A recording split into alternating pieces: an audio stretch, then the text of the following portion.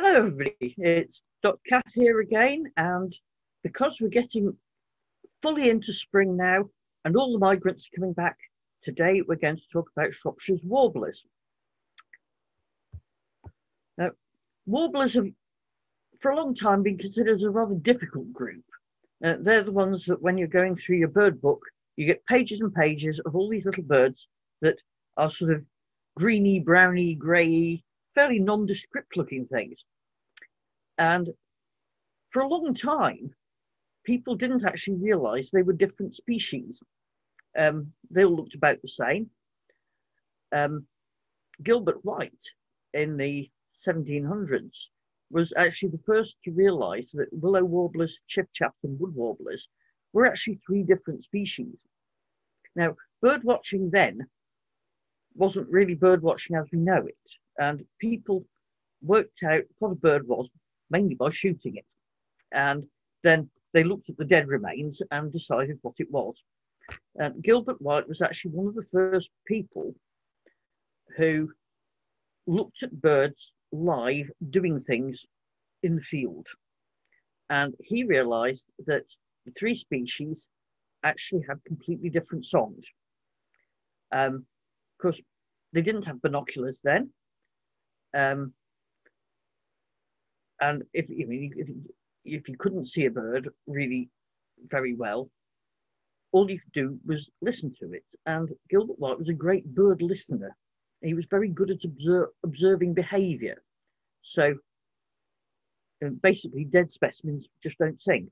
So everybody that had, a, I mean, even some of our best um, bird identifiers, if you gave them a dead chiffchaff or willow warbler, they might not know which it was. So he was absolutely brilliant at it. And he, of course, he wrote the Natural History of Selborne, and it's a wonderful book of his letters.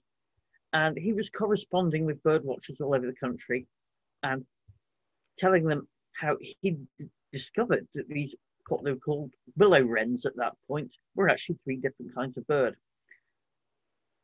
the problem with them is shown by the, the vernacular names, the, the what used to be the common names for these birds, which can cover several species. So things like nettle creeper or petty chap was covered a whole range of birds.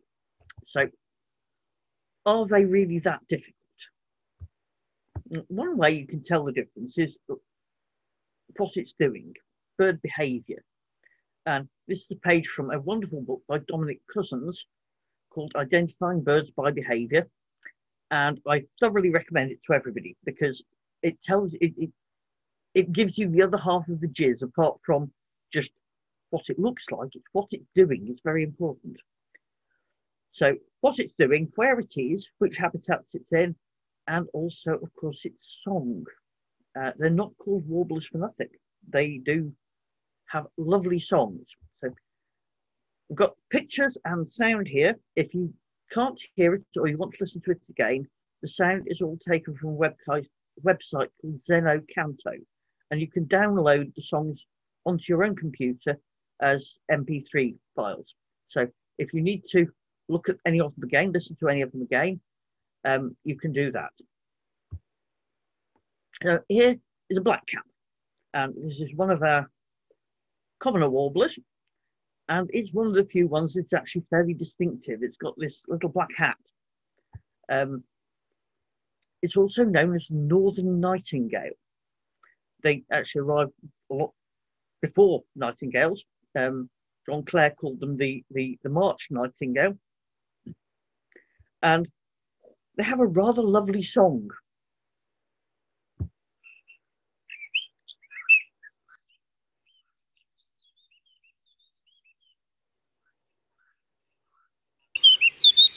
There he goes. Usually starts with a fairly irresolute chattering, and then you get these clear, slightly melancholy, fluty notes. Now, it's notoriously hard to tell from the garden warbler, but actually, it's not that difficult. They do say if you can see it, it's a black cap, and if you can't, it's a garden warbler. And the black cap sings from high in the crown or on a tall bush. And they like broadleaf woodland, and you can find it all over the county. Some of them over overwinter here. Um, there's also birds that come across from Central Europe to winter in the UK. So you will see them in the winter as well. This is the female one, and she doesn't have a black cap. Uh, she has a rust colored cap. Rather, rather a lovely thing.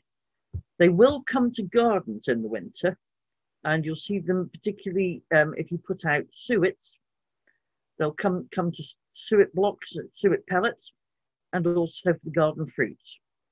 Um, lovely thing to see, absolutely beautiful.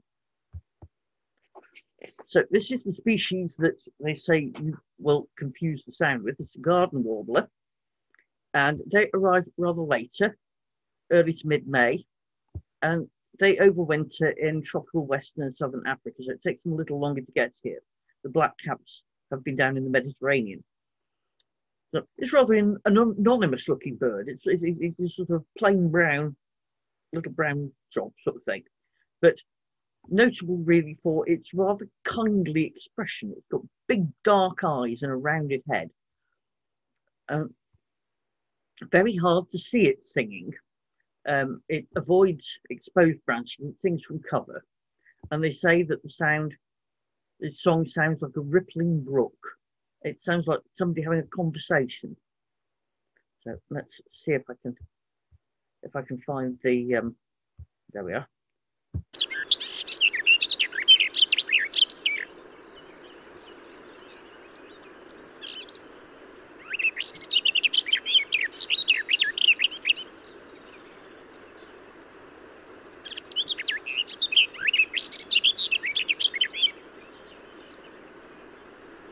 There we go, bubbling along.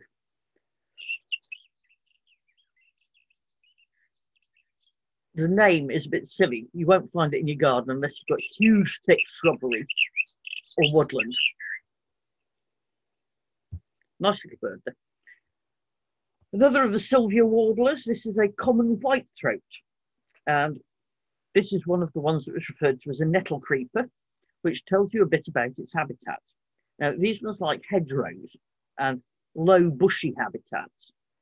And one of the ways you can spot it by its behavior is if you're walking down a lane, quite often they'll make short flights along the lane ahead of you and then dive into cover and glare out at you in a rather baleful way. Um, these ones have a scratchy song. They describe it as a scratchy or harsh song.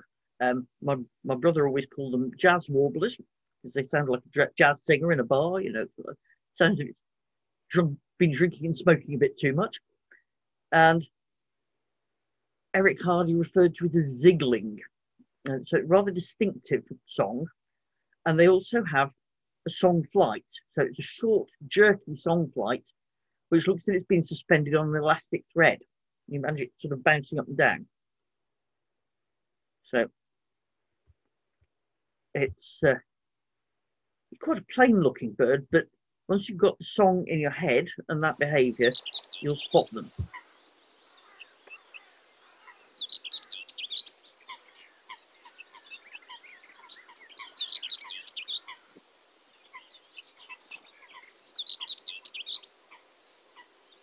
Little short, scratchy sentences. They were very, very common until the last 30 years of the 20th century, there were as many pairs of them around as, as robins today. And then there was a sudden crash in 1969, and three quarters of the population just never never came back after migration.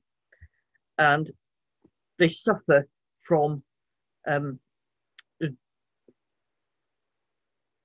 drought in the areas in sub-Saharan Africa. And as they're coming back from migration, they, they some of them they, they don't can't survive if that area is very dry. Um, fluctuating numbers of these.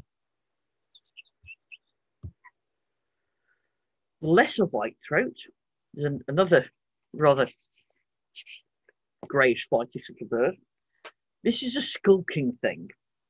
They tend to lurk about in hedges and bushes and railway embankments and these sort of places. It nests in very dense bush. And this is one that's actually unlike um, most of the other warblers. It overwinters in northeast Africa. So it goes the other way around the Mediterranean. It goes around the east end rather than across the west end. Um, it has a, a, a rather dry, rattling song again, and it doesn't doesn't have a song flight. So if you if you don't see a song flight and you hear the little rattling in a bush from cover, this will be a lesser white throat.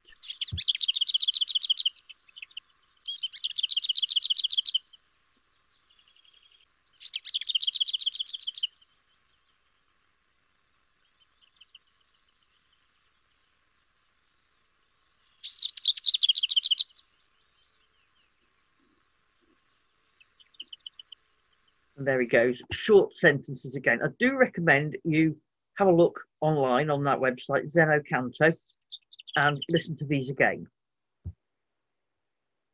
Now, now we're on to the Phylloscopus warblers. These are the leaf warblers. The Latin name actually means leaf searcher. So these are the ones that are picking insects off leaves in the canopy of trees. And this is a wood warbler. It's rather a, again, the little green, greeny, grey, browny bird, little yellow bits on it. And not all of them have these rather brightly coloured socks to make them easy to spot. Uh, lovely little bird, and you can see how it blends into the colour of the spring woodlands. So quite hard to spot. It's quite a scarce summer visitor. Um, usually you find them in the southwest of the county. Um, in the woodlands of Shropshire Hills and smaller populations around the Wrekin. It's rather fussy. It likes woods with dense canopy and minimal undergrowth. So and beech woods are very good for these things. Um, it likes branches, tree branches less than three meters from the ground. It likes to fly down to its nest. A lot of the warblers nest very low down or on the ground. So this one is in, in low bush. Um, rather distinctive song.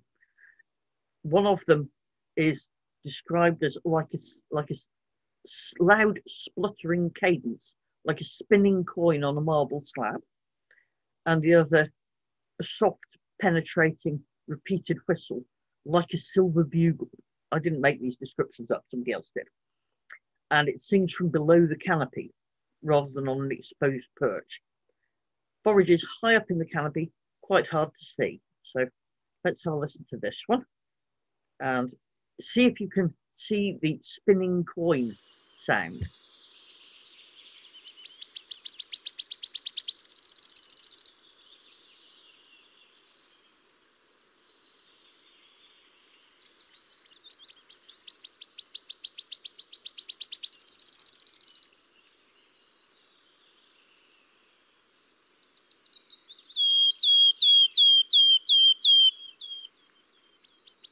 That's the silver bugle.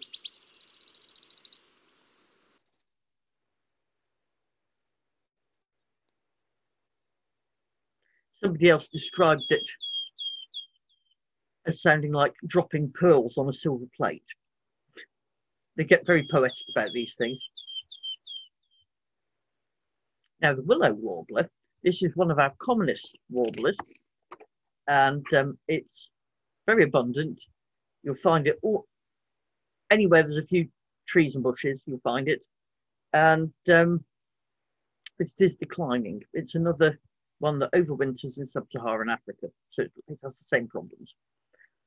And this one has quite a simple song, which is a, a, descending cadence, which covers almost an octave, and has been described as having a compelling gentleness. I told you they were poetic about these things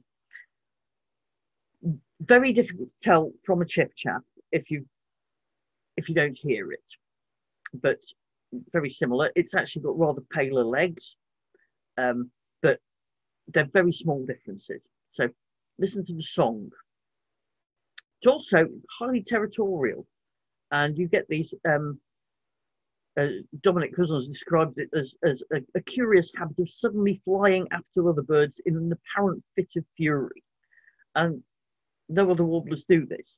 Now, say, highly territorial, and that's them driving off any um, other bird from its territory. So, really, willow warblers, to me, the sound of spring, here it goes.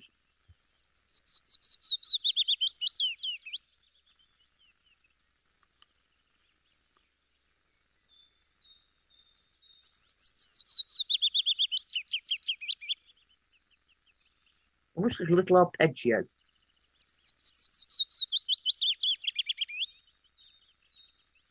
Beautiful.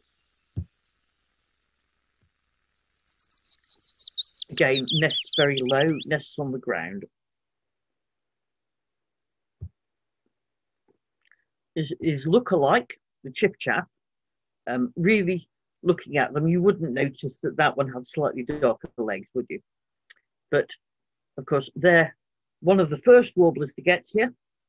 Um, they're one of those ones that uh, the first one you hear singing, you go, oh wow, here they are, they're home, they're back. And spring has come. And then if you're in a place that has a lot of chipchaps around, after a couple of days with them, you're going to want to bring their little necks. Um, they winter around the Mediterranean, so they get here early on, early in March, and there's an expanding population of non-migrant ones as well. But you won't see them in your garden then, not like the black caps. They they rely on insects around net, uh, wetland areas to to overwinter here. There's been a steady increase in them since 1997, and they're doing very well.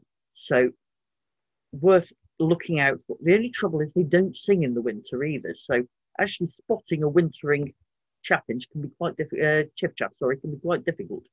And here we are. This is the bird saying its name.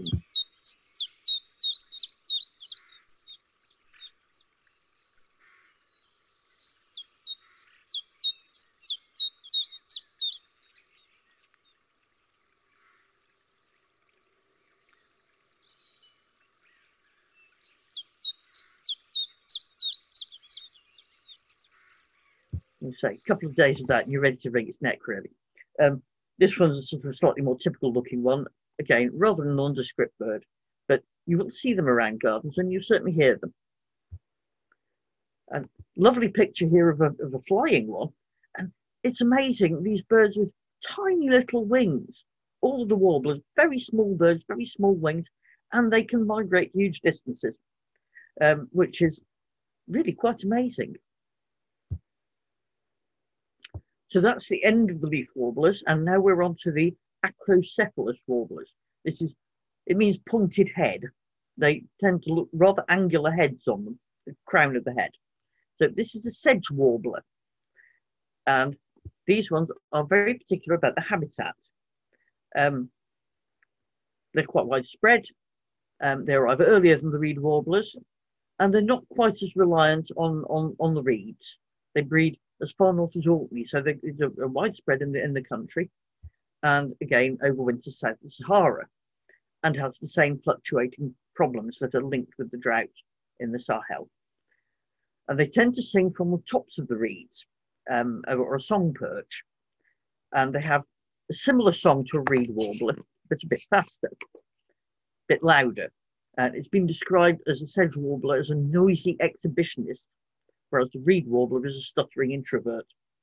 Um, it also has a, has a song flight, unlike the reed warbler. So if you see one of these little brown birds in the reeds and it's taking a song flight, that's a sedge warbler. And it, it rises up chattering and then spirals down with outstretched wings and tail, showing off basically. And these birds are, also mimics. They'll, they'll incorporate all sorts of sounds into their song and they use phrases at random. So it never actually sings quite the same song twice. So here it goes. This is the sedge warbler.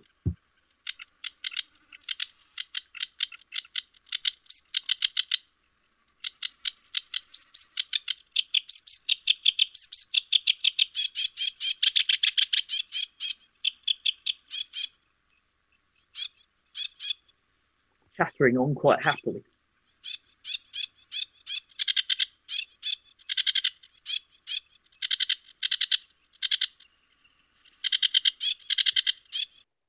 Some of the sounds of the sedge warbler sound a bit like somebody rubbing two pebbles together. You get that sort of chacking noise. The reed warbler is um, not as widespread as the sedge warbler, and they tend to be restricted to areas south of about the Wirral. Um, it's an increasing species, and it has a simpler song than the sedge warbler, more metrical. It really likes the Phragmites reed bed, so these are tall reeds around um, lakes um, and ponds. It usually feeds about mid-height, and it climbs around the stems quite dexterously much much more so than a sedge warbler. So that's a, a behavioural thing you can watch out for. And they're not very shy. We did a, a, a dawn chorus walk in um, in the Cremorne Gardens in Ellesmere, and there was a reed warbler singing from the reed reed bed there, just on on the right as you as you go through the gates onto the road, and it was chuntering away quite happily. And we stood watching it for ages, and it chunted away and chunted away. And then we went right around the Cremorne Gardens, stopping to listen to all sorts of things and having a good time. And then about an hour later, more than an hour later, we came back and it was still there in the same place and it was still chuntering on. So it's, um, they, they, they, it was a fairly recently um, planted reed bed. It didn't take them very long to find it at all. And um, there it was singing away in it. And this is what it sounds like.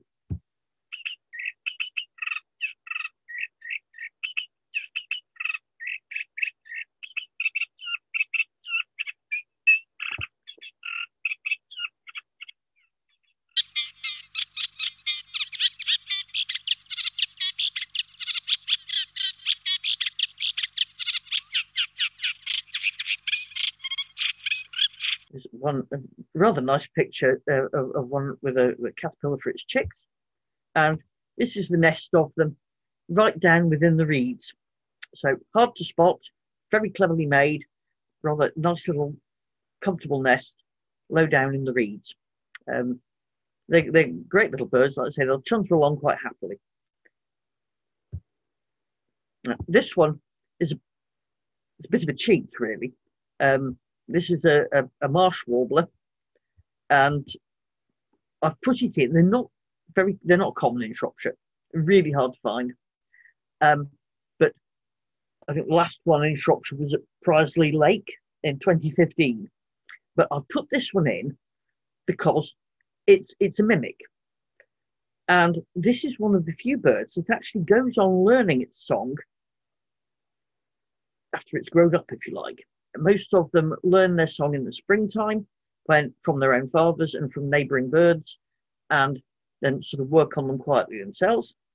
And marsh warblers go on learning their song as they migrate. So there'll be elements of African bird song in it. So if you hear the sound of a bulbul or something um, out, of, out, out, of, out of the reeds, or out of vegetation, it'll be a marsh warbler. Um, they don't like reed beds very much. Um, they're not very keen on vegetation growing out of water, but they like tall herbs near damp areas. So things like nettle beds and big stands of cow parsley or, or something like this, and they'll be quite happy in there. Sorry, I haven't got a recording of this one, but you can find one online. Here's another invisible bird. This is a grasshopper warbler. This is the Latin name for it is Locustella. It's a scarce bird, declining. They've gone down by nearly half in Shropshire since between from the last count, which end, end, ended in 1990, and the current atlas in 2008-15, down by nearly a half. It's another one that winters in sub-Saharan Africa. So this is shows you just how much um, difficulty these little birds have on migration. This one likes damp, tussocky, rough undergrowth and, and, and thickets. And it, it, it, it sings from cover. It creeps around the ground vegetation. uh, so hardly ever seen, and it wasn't really recognised as a bird until quite late in the 1700s, and a lot of people wouldn't even admit it was one then. They thought it was an insect. It, it's, it, it, it can throw its voice, so it's not necessarily in the bush that the sound is coming out of, and it varies the volume by turning its head. So quite confusing thing to listen to. And it can sing 1,400 double notes per minute. And it sounds rather like a fishing reel. Rather more like a fishing reel than it does a grasshopper, to be honest. But here it goes, this is it.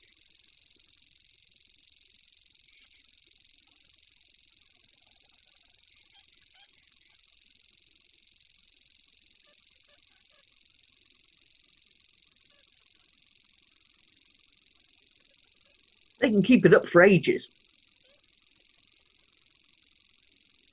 Birds don't have to sort of breathe in and out like we do. Their lungs are designed completely differently. So it can make a continuous reeling noise while it's breathing. So that's amazing thing. This one again is a bit of a cheat. This is a Cetti's warbler. And I don't think they've been recorded in Shropshire yet. I might, might be wrong on that one. Um, but it's going to watch this space. They're, they're spreading all over the country. They're residents, they're not migrants. And they're, they're widespread across continental Europe and have been coming into this country um, in increasing numbers. And there are populations of them up round, round the Wirral so it's not that we're too far north. It's just that I think perhaps they haven't, perhaps haven't been recorded. So listen out for a Cetti's warbler. They sing by night and they sing in the winter. So quite different behaviour really. this is they also like they like damp places, but it likes to forage on or near ground level, and so they avoid vegetation that's actually growing in the water. So they're not a reed bed species, but they're associated with reed beds. They like to be near water. Because a lot of insects near water, so it's always a good place to be an insectivorous bird like all these warblers are. And their song is wonderful. They almost tell you how, who they are. If you listen to the little phrase, the beginning of it sounds like me, Cetty. So let's have a listen to the Cetti's warbler and you can listen out for them and see if you can record one in Shropshire for us.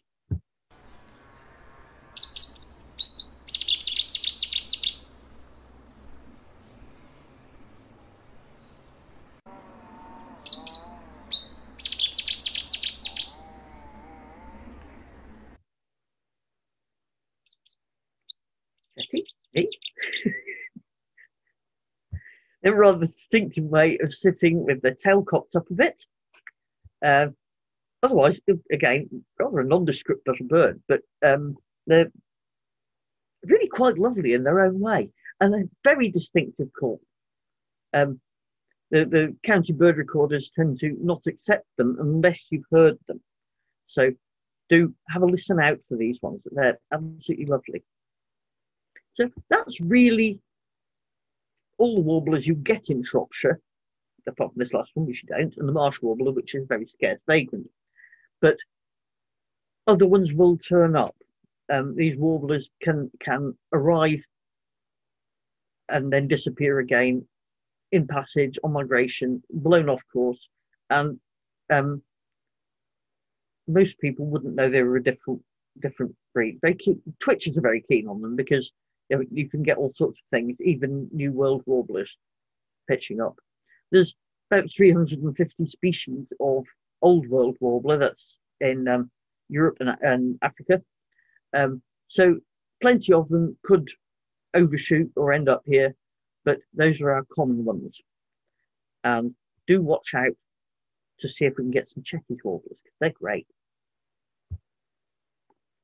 This is um, a map of Africa. This is just to talk about the threats that these these these birds are facing, and most a lot of the declining ones tend to be coming from south of the Sahara, and this sort of pinky coloured band is the Sahel, and if that that area suffers terrible periodic drought, um, particularly with the climate change we're experiencing now. And of course, it adds you know, maybe a third onto the journey over desert. So any drought in the Sahel this could could impact on on the birds' ability to migrate properly, successfully. In fact, um, they would normally stop and feed themselves up in the Sahel, and then cross Sahara at night when it's cooler.